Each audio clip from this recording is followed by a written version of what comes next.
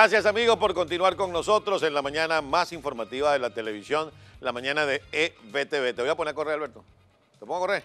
Usted quiere descargar la aplicación, usted quiere saber lo que está pasando en el mundo, quiere saber cómo está la situación del tránsito automotor en nuestra ciudad, usted tiene que descargar su aplicación EBTV en cualquiera de sus dispositivos celulares, bien sea Android o iOS, como se dice en español. Ahí tienen ustedes, miren, la aplicación de EBTV, absolutamente gratis. Usted le dice aquí, entrar, Ahí está la señora Carla Angola.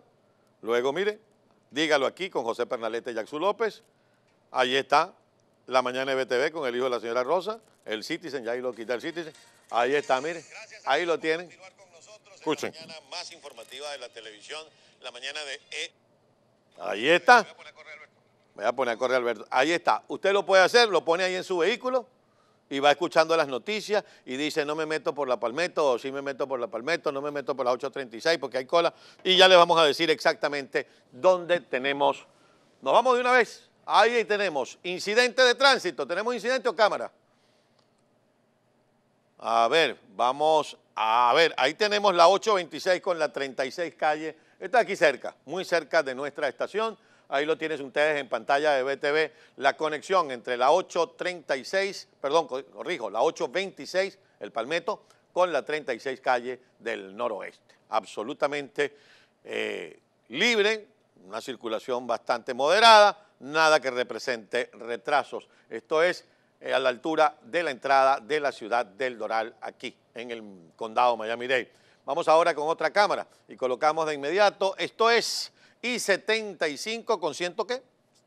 Con la 175. Es decir, esto es condado Broward y 75, corrijo, con la conexión a la 170 calle.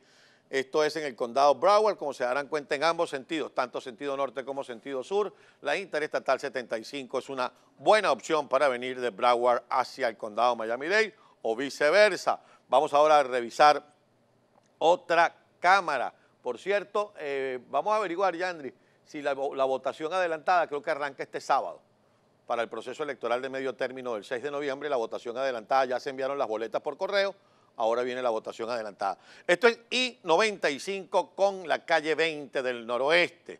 Por supuesto, un poco más de eh, volumen de vehículos sin llegar a ser una tranca o una cola hay mayor volumen de vehículos en dirección hacia el sur, Interestatal 95 con calle 20. La opción del carril expreso pudiera ser, si usted está muy apurado, si va un poco retrasado, alguna, eh, algún compromiso que tenga. A este nivel yo les podría garantizar que no supera un dólar el peaje, el toll que tendrá que pagar. Tenemos otra cámara para ustedes y la colocamos en pantalla de EBTV, porque esta es la mañana más informativa de la televisión. Esto es, uy, se cayó la imagen, esta imagen está, temporalmente no está disponible. ¿Eso es qué? 826 con qué? Con Flagler. Esta es la 826, fíjense, hay un poquito más de tránsito allí, eh, un poquito más de embotellamiento en la zona hacia el sur, eh, la salida que ustedes ven a la derecha los lleva a Flagler Street y si sigue usted por allí, por la 826 hacia el sur, conecta además en la rampa que le conduce a la 836. La que viene hacia el norte, bastante despejada. Una cámara más para que ustedes tengan la visual de toda nuestra área y de inmediato la colocamos en pantalla. Esto es I-95 con la 151 del noroeste. Como se darán cuenta, ahí lo tienen. Ahí lo tienen en pantalla de BTV. En ambas direcciones es una buena opción. Ahí tienen ustedes incluso, no está ni colocado el, el precio del toll, aunque está abierto el carril expreso, pero como se darán cuenta, es una muy buena opción a esta hora de la mañana utilizar la I-95 y si usted va a transitar a la altura de la calle 151, si va a utilizar esa rampa para tomarla, esto le conduce, si llega hasta abajo, bueno, puede llegar a Brickell, puede conectar con la 112 rumbo al aeropuerto. Este, ahí lo tienen ustedes en pantalla de EBTV. Vamos a revisar ahora las condiciones meteorológicas. Em, ahí lo tienen. Bueno, tenemos en este momento 81 grados Fahrenheit, eh, la sensación térmica o índice de calor se siente como 89 y ahí tienen ustedes en el mapa chiquitico, este chiquitico que ustedes ven ahí debajo de, del, 80, del 81, oye, el 81 que es nuestro canal en Conca, eh, ese, eso que ven allí es que ya comenzó el frío en algunas zonas del norte de la nación. Ahí hay una mancha blanca que cubre. Bueno, vamos a levantar para que vean el mapa. La humedad está en un 86%. Cuando yo salí de mi casa esta mañana dije, Dios, pero aquí uno sale y la humedad. Tenemos un pequeño foco lluvioso frente a las costas de Miami. Nada que represente ninguna posibilidad de tormenta o algo por el estilo a esta hora de la mañana. Absolutamente despejado, parcialmente nublado en algunas zonas. Solo un 20% de probabilidades de lluvia que van despejándose hacia el transcurso, hacia la noche, que reduce o disminuye eh, a un 10% el potencial de precipitaciones en este eh, día. Para, el, eh, para la noche desciende el mercurio a 79 grados y como les dije, desciende también el potencial de lluvias. El amanecer de este jueves aumenta la probabilidad de precipitaciones a un 40%, pero vuelve a descender para la noche de este jueves. Vientos de, este a oeste de 20 millas por hora, habrá un poco de brisa hoy, vientos provenientes del este, repetimos, a 10 de, de 10 a 20 millas por hora. En este momento, ningún foco de lluvia, un poco de precipitación en los callos y, como les decía, algo de lluvia frente a nuestras costas. Vamos a comenzar de inmediato a revisar la prensa del día y no sé si comenzamos con el local. ¿Tenemos ya el local o vamos a comenzar con Venezuela? Vamos a ver qué nos colocan en pantalla nuestro director y nuestra productora. Ahí tenemos el nuevo Herald. Comenzamos. Se deshace de cinco faros en los Cayos. Eh, desde Carrisford Reef, frente Aquí Largo, hasta St. Kay, en la zona sur de los Cayos, el futuro de cinco de seis faros históricos que ayudaban a los navegantes a no chocar con los arrecifes coralinos de la zona ha quedado en la incertidumbre. El servicio de guardacostas que supervisa los faros, ha declarado inútiles los faros de Carries Force, Senkei, Alligator Light, Sombrero Light y America Shore, lo que significa que ya no son necesarios. Bueno, ya no son necesarios para el uso de la navegación, pero son un ícono de la zona.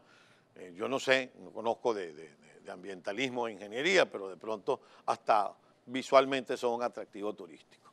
Bueno, Cuba libera a disidentes tras 62 días en huelga de hambre. Esto es un cuento de nunca acabar. Eh, aquí está este caso de el, eh, Tomás Núñez Madariaga, ahí lo tienen. Abajo, según este análisis de Alex Dugerty, la salud es el talón de Aquiles de los republicanos. Esto de cara a las elecciones de medio término. Mucho se ha dicho que el tema de los republicanos con la salud es el haber desmontado o intentar desmontar el ya célebre Obamacare o Ley de Salud Pública. Seguimos revisando y tenemos, buscan terreno para academia. El Doral en la mira de Beckham. El área del Doral podría ser la sede de la academia de fútbol que David Beckham planea construir para entrenar a jóvenes jugadores del sur de la Florida. Por cierto que ahí, ahorita no recuerdo textualmente, pero lo vamos a buscar y les ofrezco esto. Hay una pregunta en la boleta para las elecciones de este 6 de noviembre que tiene que ver con el estadio de David Beckham. Puerto Rico, mil personas para el café. El secretario de Agricultura de Puerto Rico, Carlos Flores, invitó este martes a que mil personas se unan al recogido del café en el periodo más productivo de la cosecha local. Y esas florecitas rojas que ustedes ven ahí, estas semillitas rojas, esa frutita, eso es café. ¿Hay algo más abajo o nos cambiamos de periódico? Nos cambiamos de periódico. Entonces ahora nos vamos al Nacional de Venezuela. Nos vamos a Venezuela para revisar la prensa venezolana y como es usual, tal cual como lo dice el director. Niños pierden estatura por la falta de alimento. Esto lo hemos conversado en muchas oportunidades y no es porque uno quiera ser profeta del desastre, pero hay que ser realista. El futuro de Venezuela en este momento no es para nada halagador, porque cuando uno mira que los muchachos que están yendo a las escuelas están mal alimentados, no están recibiendo la educación adecuada por razones obvias, pues el desarrollo físico, eh, anatómico y hasta intelectual se ve afectado por una mala alimentación. Veamos esta nota. Dice que niños pierden estatura por la falta de alimentos. La investigación de la Fundación Bengoa indica que 33% de los niños de las zonas periurbanas de Caracas, Miranda, Zulia, Mérida y Anzuategui presentan retardo en el crecimiento, mientras que algunas zonas rurales afectan al 46%. Denuncian uso de la comida como herramienta de presión política. Eso ya lo hemos denunciado el uso de la comida como herramienta de presión política. Bueno, lo, está usando la FARC, los disidentes de la FARC, lo está usando el ELN. Vamos a hacer una cosa, vamos a la pausa y regresamos con más titulares de la prensa venezolana porque hay mucho que comentar con todos ustedes. Esta es la mañana más informativa de la televisión, ya venimos.